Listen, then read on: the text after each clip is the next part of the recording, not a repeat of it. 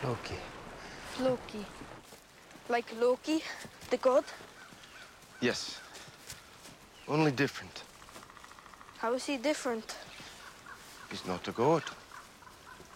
Why didn't he come to the thing? Because. Because he's shy.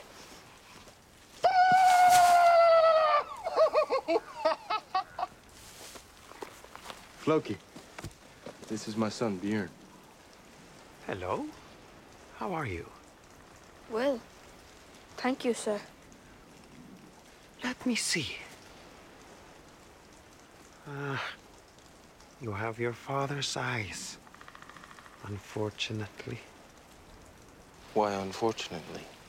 It means he will be like you.